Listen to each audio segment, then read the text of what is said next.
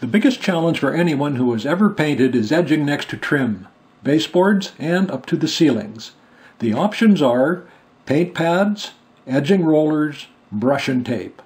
I will show these various tools used on a 4 foot wide display with four different types of trim. First we will look at pad edgers with wheels. They vary in price, quality, and performance.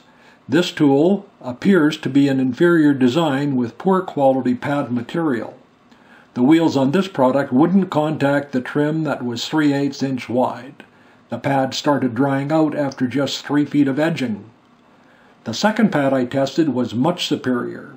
The wheels contacted the two 3 8 inch wide trims and I was able to get good coverage unloading a 4 foot section with each load. There are skills required to use these tools. The finished product next to T-bar was very acceptable.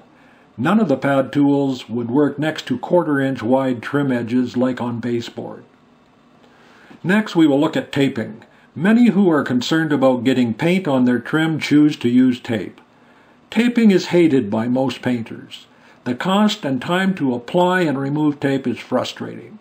Even finding a starting point on most tapes can be challenging. The cost of these tapes vary from $3 to $10 a roll depending on the brand. Some of these tapes claim to eliminate bleed through, which can be a problem, sometimes experienced with different tape products. The finished product that can be delivered will vary depending on the quality of the tape and the skill of the painter. It was my experience as the rare occasion I use tape, the removing of the tape at the end of the paint job can be even more frustrating than applying the tape.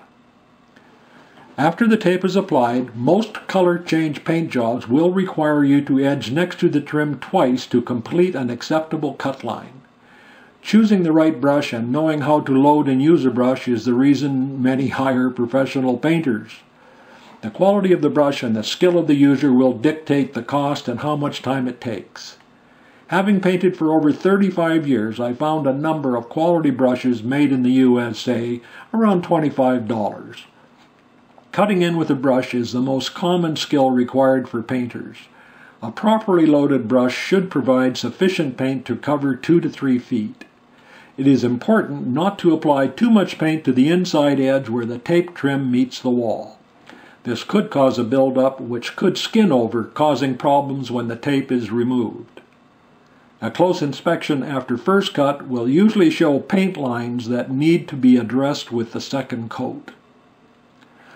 The first edging roller we will look at is the 3-inch FasTrim mini rollers. These rollers fit on all standard wire handles designed for mini rollers. The microfiber fabric carries a full load of paint. It is important to unload the majority of the paint before any pressure is applied. Watch it edge next to 16 feet of trim in a single load. You can begin applying some pressure after approximately 12 feet. Finish unloading the roller, then you go back to the beginning and use the excess paint you had unloaded and finish the cut in next to the other trims. The red paint shield on the 3 inch mini roller is 2 millimeters thin. This allows you to get as close as a brush without the need to tape. The skill in how to use this roller will be shown at the end of the demonstration. Edging next to 16 feet of trim in less than 60 seconds is up to five times faster than brush and tape applications. Watch as the brush lines that were left from the first brush cut are covered in a few seconds with the FasTrim 3 inch edger, completing the second cut. This shows edging 8 feet in 20 seconds. The FasTrim Jumbo Mini Roller is 4.5 inches long with 3 8 inch microfiber. These rollers work on all 3 quarter inch frames. The red paint shield on the jumbo roller is 4 millimeters thick and is quite durable. This allows the painter to get as close as a brush. Watch closely as it shows unloading the majority of the paint in the first 12 feet before applying pressure to start the edging process. Then we go back to where we started using the paint that was unloaded to finish the cut-in process. 16 feet of edging performed in 41 seconds. The second coat was 37 seconds. Combined with the first cut, that is less than 80 seconds to complete both cuts. That is approximately five times faster than the brush and tape method. Check at the end of the presentation for the comparison to the other tools and processes. These close-up shots show a crisp, clean finish with no brush lines, no paint on the trim. Those trims were T-bar ceiling trim, tile shooter trim, stained oak trim, and painted baseboards. In reviewing the options, a detailed analysis will show paint edgers can cost 5 to $10 and take 3 to 4 minutes and don't work on quarter inch wide trim edges. Tape and brush costs will vary $8 to $35 and could take 6 to 7 minutes or longer.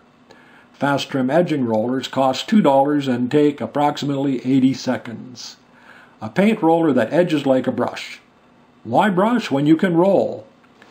These edging rollers are less expensive, more effective, and deliver a high quality finish in a fraction of the time. We have adjustable handles for both sizes of rollers. When mounted on an extension pole, they can eliminate ladder work. Keeping the outside edge of the red paint shield clean is important. Watch these simple instructions it is best to tilt the tray to make sure you have some paint on the chevrons or sloped grid portion of the tray to load the roller on.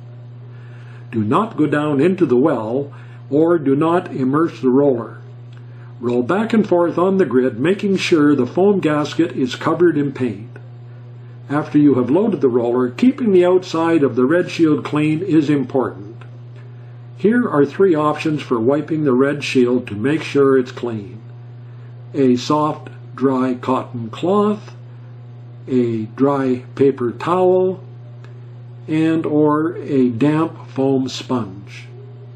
Any of these will work, but you need to make sure to keep the edge of the shield clean.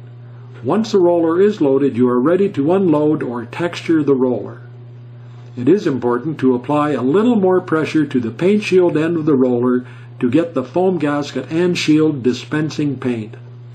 You may need to perform this task two or three times. Here are a few clips showing the mini and jumbo mini rollers in action. Later in the demonstration, we will show how you can eliminate ladder work using our 11 position adjustable handle mounted on an extension pole. You will quickly find the pressure required to edge next to trim, up to 10 times faster than a brush.